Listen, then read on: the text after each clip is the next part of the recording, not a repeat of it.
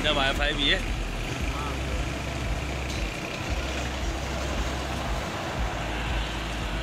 तो दो बसों को एक किया हुआ है। हम्म।